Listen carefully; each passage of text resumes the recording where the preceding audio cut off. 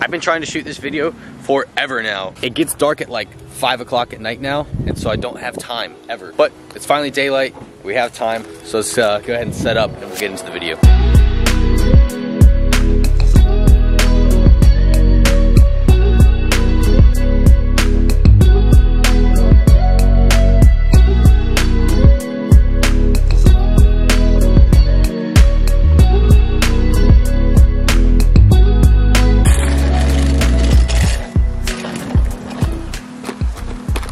What's up YouTube? Welcome back to another video. Today is a very important video that I really wanted to make, especially after doing my entire GT 500 conversion front bumper kit thing. If you haven't seen that video, go ahead and check up over here or here, whichever way it is, uh, and check out that video of getting it to look like the beast that she is now. But this video is mainly focused on the review of the BMC Mongoose hood that, uh, that I put on the car. So I'm gonna tell you the goods, the bads, the uglies, the pretties, all of what I have, what I do know about the, the hood. So right off the bat, you can see the car looks amazing. It looks mean. If I'm driving behind you, it looks awesome. These are testimonies from, from my man's Kev. Go ahead and follow him on Instagram. He's right over there watching me do this. So yeah, it looks amazing. It, it, yes, it's a great hood. The Mongoose hood looks awesome. I opted for the carbon fiber uh, hood vents edition. It was actually 150 bucks. Kind of regret that because I have no other carbon fiber on the rest of my car, so I think the gloss black would have looked fine there.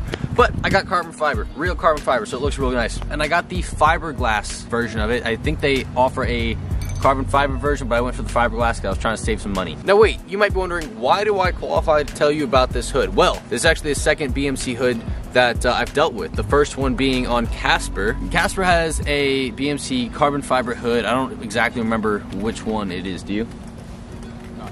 All right, very well. And it fits fine, it fits great, looks great, it's awesome, right? With the uh, previous experience of BMC doing what they were, you know, what they said they would do, said, hey, you know, I like this hood, it's different, haven't seen it around, uh, and let's give it a shot. However, here's the negatives. This is why I, well, I wouldn't recommend this hood. I wouldn't recommend this hood to anyone, especially because of the pain that it took to get, the work that had to be done to it once it came in, and then just the fitment issues. And I'll go into more details about that. But kind of my experience uh, with this hood is it took about six months just to get the hood in. Whatever was one excuse after the next of why it wasn't here or why we weren't getting an update. I think they said they were moving their manufacturing plant from Pennsylvania down to Texas and that's why they couldn't start production on it yet, whatever the reasoning being. And so after waiting six months to even get the hood, it came and the box was destroyed. Uh, a chip was missing out of the, the hood itself, so we had to recreate that with uh, body filler and that's not even a guarantee that it's gonna stay like that. If I decide to take the hood off at one point and I set it down, that could chip off and go away. Uh, so there's no guarantee that it was actual a permanent fix. There were scratches everywhere. The box was just destroyed, and I don't think they packaged it properly. And I think the shipping company just was like, "Hey, here you go." They didn't they didn't care. That's whatever. I don't know if that's the shipping companies or if that's just what BMC chose to do with the shipping on this. I don't know. I don't know who's to be at fault for that one, but it is what it is. So after receiving the hood, putting it on the car, now you gotta take it to paint. So we took the car to paint. I was lucky enough to have my own little buddy do the painting for it, uh, so it was significantly cheaper. However, if you were to take this hood to, let's say, an actual body shop and they did the painting, it would end up being out the ass for, for labor. The reason being is because there were so many holes in the actual fiberglass that needed to be filled because it was too thin. The amount of prep and pre-work that had to go into it before paint could even start would just be ridiculous. Um, I think I spent a total around eight to nine hundred dollars to get the hood painted. Now, keep in mind that also included the hood, the front bumper, and to blend it into the, the side panels there and everything. So that, that included all of that. So I think I got lucky and I got a really good deal, but with the amount of labor that had to go into it, you might not have, you might end up spending more money. And with all of this being said, after finding out the holes, about finding out the fitment, which I'll get into, that's the biggest issue here, reached out to BMC to try and, you know, get something going. Like, hey, can we get a partial refund? Can we get another product? Because this is just not what we paid for with the how expensive the product is and have yet to hear anything back and that was you know about a year ago at this point. And I think the the final thing that pushed it over the edge of whether or not I wanted that refund or not was the fitment is terrible. The amount of little things I had to do to get to the fitment to where it is now, and it's still not even where I would suggest, like where I want it. So when people come up to me at car meets and like, hey man, I love your hood, you know, where'd you get it? I'm like, you don't want this hood. I promise you, you don't want this hood because of the amount of effort, mistakes, and, and, just time and money that went into this hood. It's just not worth it. If you are as particular about your car as I am, I get a little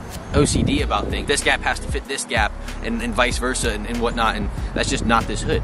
Uh, if you don't care about that, then maybe this hood is good for you. But for someone like me that that wants, you know, the things to, to fit how it should, I'm very unhappy with this hood. I know it looks great from this shot, and actually you might be able to see the fitment issues from here. I, I don't even know, but I'll, I'll show you guys more in depth and close up. But I guess at the end of the day, uh, if I haven't said it already, do I recommend this hood? No, no I don't. I think that there are many other hoods that can make your car look more aggressive for a lot less of a pain. Yes, they might be a little bit more generic and a lot more people have them. However, you're kind of, you're saving money for one, uh, you're saving time and effort and just peace of mind knowing that it's gonna fit. And if it doesn't, they generally have a better uh, customer service representative than, uh, than I've had to deal with. So with just all these compounding things, I would just say it would be easier to get something that most people already have. Uh, unless you have a connection with BMC, then go for it obviously, because then you can get your, your whatnots worked out a little bit better. But that's it for this video, guys. I was very short, but I really wanted to make this video because the amount of money that was spent into making it look as, as it does now, it should look 10 times better. And it, it's frustrating for me, so I don't want you guys to go through that same frustration because yes, it's a it looks nice. But once I start pointing out these details of like adding washers in here, getting rid of the uh, the hood adjustments, it gets frustrating and that it should fit with the juice. It's also like not even bright out, but I, I can't see. Anyways guys, that's it for this video guys. I hope you enjoyed it. If you did, make sure to leave a like, subscribe down below if you want. It's completely free and you can always change your mind later. Yeah, until next time.